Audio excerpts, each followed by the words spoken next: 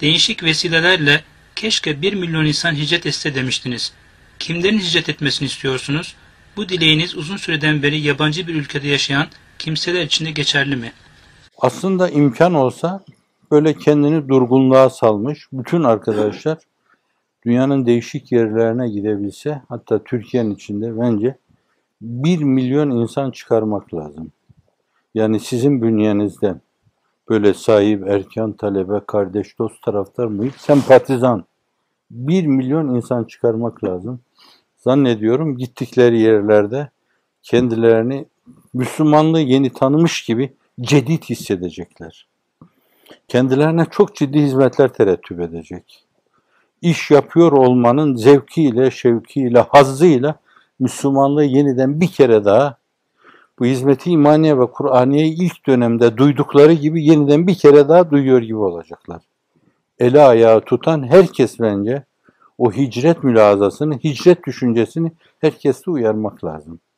Dün bir vesileyle geçtiği gibi Efendimiz sallallahu aleyhi ve sellemin viladetiyle alakalı biz geceler tertip ediyoruz. Viladet geceleri. Kutlu doğum diyoruz ona. Ama bir de kutlu hicret var yani Efendimizin.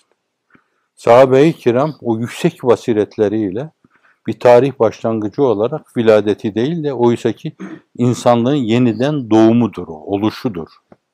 Ama sahabe-i kiram hususiyle Hazreti Ömer'in o mevzuda reyinin ağır basmasıyla hicret bir tarih başlangıcı olarak benimsenmiştir. Çok önemli bir hadisedir. Bir şey vurgulanmıştır burada.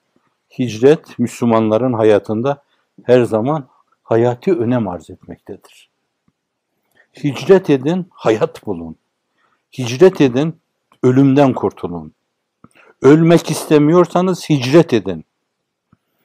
Canlı kalmak istiyorsanız insanlara hayat nefkedin. Diri kalmak istiyorsanız başkaları için yaşayın. Başkaları için yaşamazsanız şayet kendi hesabınıza diri kalmanız da mümkün değildir. Bu açıdan ısrarla onun üzerinde durmak lazım. Gayeyi hayalim benim. Gayeyi hayalim benim. Yani ben diyorum ki herkes gitsin oraya. Ha gidemeyenler ki Efendimiz'e hicret edemeyenler bile kalmıştı. İllel müstadafine.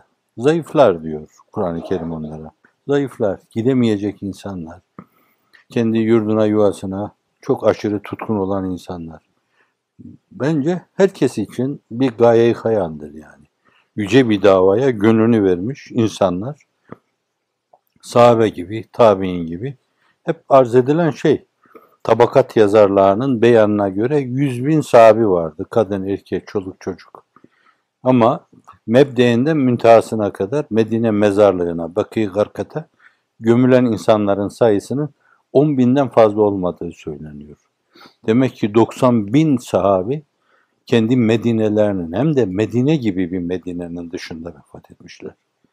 Efendimiz sallallahu aleyhi ve sellem buyuruyor ki bir de o var yani teşvik var. Bir gün gelecek burayı bırakıp başka taraflara gidecekler. Şam'a, Yemen'e gidecekler. Medine onlar için daha hayırlıdır buyuracak. Ve buyuruyor ki ilk defa haşr olduğumuz zaman ben burada Medine'de yatan insanlara şefaat edeceğim diyor. Ama buna rağmen Efendimizin şefaati çok önemli. Onun yanı başında yatmak mezarda, toprakta onun başında yatmak çok önemli bir mesele. Fakat bunların hiçbiri Allah'ın rızasını kazanma istikametinde ilahi kelimetullah'a denk değildir. Sahabi orada tercihini o istikamette kullanıyor. Allah rızasını tahsil etme istikametinde ilahi kelimetullah diyor. Onun için çardağını kuruyor bir yere. Orada ilahi kelimetullah yapıyor. Ha cephe oluştu falan deniyor ona. Yeniden bildiğiniz gibi tabakatta okuyoruz. Söküyor çardağını, atıyor orada, taşıyacağını yanına alıyor, yeniden atına biniyor, dehliyor atını mahmuzluyor ve yürüyor. Şimdi böyle yaşama esas, bize böyle yaşama gösterilmiş. Bu açıdan ben bir müminin gaye hayali istikametinde idareyi kelam ediyorum. Ama Bu meselelerinin takdiri onlara kalmış bir mesele. Kendilerini müstadafinden sayanlar, taife-i sayanlar, çoluk çocuk sayanlar, sakat Ali sayanlar, onlar kendilerini mazur görebilir, gitmeyebilirler. Fakat bunun dışında bir yönüyle herkes gitme sorumluluğu içindedir. Tabii iş adamlarının biraz iş adamı olarak da gitmelerini arzu ediyoruz. Gittikleri yerlerde aynı zamanda o iş dünyasıyla da bütünleşsinler. O aynı zamanda oradaki o bizim eğitim müesseselerine de arka çıksınlar. Onların finansörü olarak oraya gitmiş olsunlar. Evet bir milyon insan gitsin dedim ben. Kesetten kinaya söyledim. İsterseniz 2 milyon da olabilir, 3 milyon da olabilir. 4 milyon da olabilir. Yani bir 2 milyonluk, 3 milyonluk kafa o kafa aktivitelerini dünyanın değişik yerlerinde kullansalar Türkiye'nin bir kaybı olmaz. Türkiye'de çok düşünen kafa var. Gitsinler dünyanın değişik yerlerinde yer tutsunlar. وَلَقَدْ كَتَبْنَا فِي الزَّبُورِ مِنْ بَعْدِ ذِكْرِ اَنَّ الْاَرْضَ يَرِثُ عِبَادِيَ salihun. Yeryüzü mirasçıları Allah yeryüzünü Hazreti Adem'in Habil oğluna miras bırakmıştır. Kabil mirastan mahrumdur. Gitsinler, onlar da yenilensinler, ayrı ülkeler görsünler. En azından böyle senenin bazı mevsimlerini oralarda geçirsinler. Dünyanın değişik yerlerinde ne oluyor, ne olmuyor. En azından baktıkları ülkelere gitsinler. Gitsinler Şili'ye, Arjantin'e, Brezilya'ya, Venezuela'ya. Evet işte Küba'ya gidip geliyor bizim Muharrem Beyler. Korska'ya, Hawaii adalarına, Ekvator'a. Evet ne güzel şey. Ne güzel. Güzelliğe peyrev olmak, güzellere peyrev olmak, güzellikleri takip etmek, güzellerin arkasından gitmek. Ne güzel. Cennet yolu bu. Başka hiçbir şey ona denk olamaz buyuruyor Efendimiz. Ne rıza ilahi tahsile, ne ilahi kelimetullah'a denk hiçbir şey bulamazsınız diyor. Evet. Zifiri karanlık içinde olan insanlığın dünyasını aydınlatacaksınız. Bir de hele günümüzde bence bu mevzuda valla tekasül hiç affedilmez. Bu kadar düşünceyi, bunca rüzgarı arkamıza aldıktan sonra hala yerimizden oynamıyorsak böyle çok ciddi yere düşmüşüz demektir. Efendim pek çok ziraat mühendisi, doktor, esnaf hocamız gidin derse hicret ederiz diyor ve sizden bir işaret bekliyorlar. Gidin. Gidin. Allah Allah. Hoca kim oluyor ya? Allah. Üç şerefelinin zavallı imamı. Hoca yaptınız çıktınız siz de işte. Oturmuş konuşuyoruz, istişare ediyoruz. Gidilmesi zaruri olan bir iş diyoruz buna. Gitsin herkes artık. Nasıl konuşacaksın zaten? Celp mi çıkaracağız bunları? İşte belli bir dönemde böyle ihtiyari hicretler oldu. Gönül rızasıyla gittiler. Coğrafyada yerini bilmedikleri yerlere gittiler. Gittiler orada öğretmenlik yapacağız, rehberlik yapacağız, okul açacağız. Fakat kırpani binalar içinde okul nasıl açılır? Vaka, vakadan bahsediyorum. Orada birer ırgat gibi çalıştılar. Bütün bunlar göze alınarak gidildi. Bu ihtiyarı bir hicretti. Mercuh racihe tereccüh etmesi cihetiyle hani bu bir yönüyle racih bir meseleydi. Gün geldi o arkadaşlar Cenab-ı Hakk'ın lütfettiği şeyi yaptılar. Hiç kimse ne de kitmir.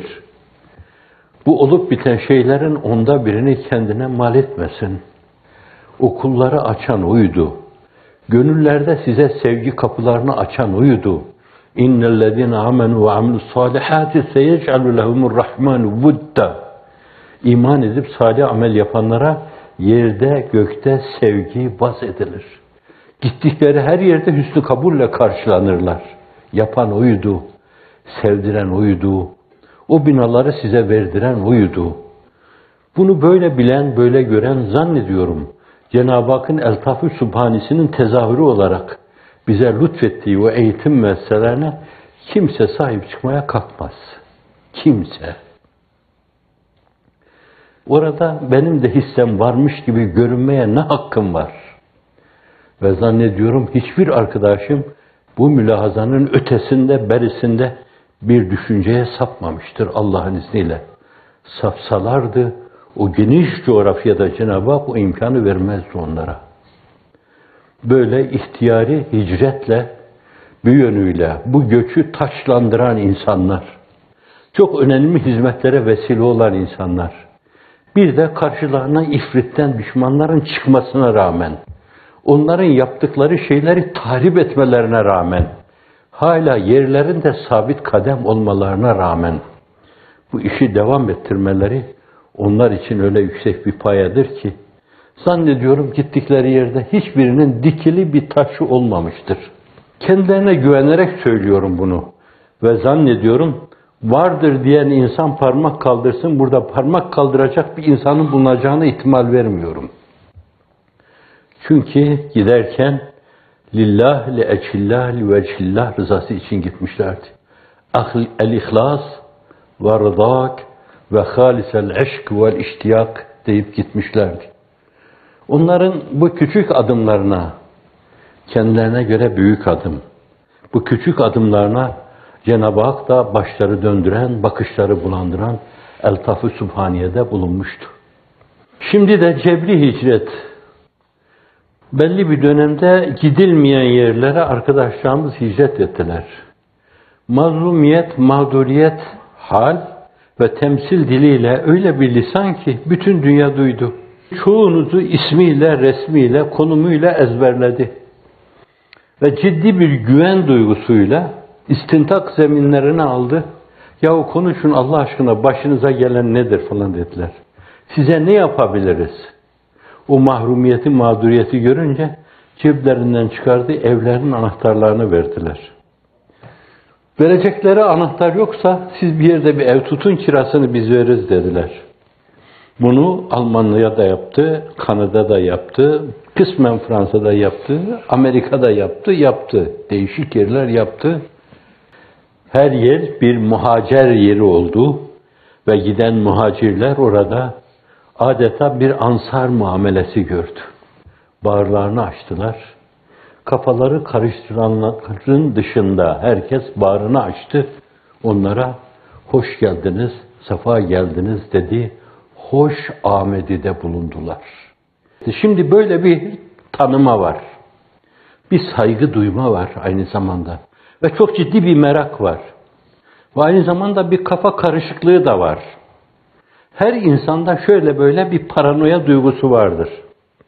Ama şimdi böylesine reklamla yapılması imkansız olan böyle bir duyurma kendinizi. Reklamla. Trilyon verseydiniz bu ölçüde kendinizi duyuramazdınız. Penguenlara kadar herkes duymuştur bunu.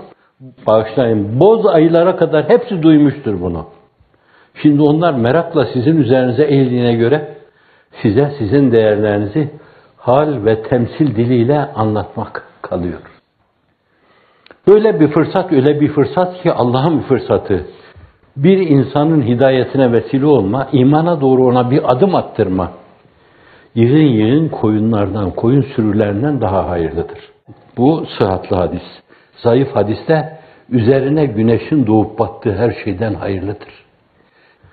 Şimdi cebri hicreti bu istikamete değerlendirme çok önemlidir.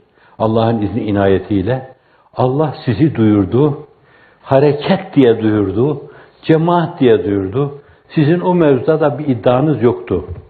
Allah sizi burada uzun ömürle serfiraz kılsın. Hizmeti imaniye ve Kur'aniyete daim kılsın. Namı Celili Muhammedi sallallahu aleyhi ve sellem dünyanın dört bir yanında şehbal açması istikametinde istihdam etsin inşallah. Ve imanla öbür tarafa göçmeye muvaffak eylesin. Ruhu Seyyidül Enam'ın Livaul Hamdi altında beşaşet içinde, bişaret içinde orada Cenab-ı Hakk'ın çok farklı eltafını bekleme şerefiyle şereflendirsin. Vesselam.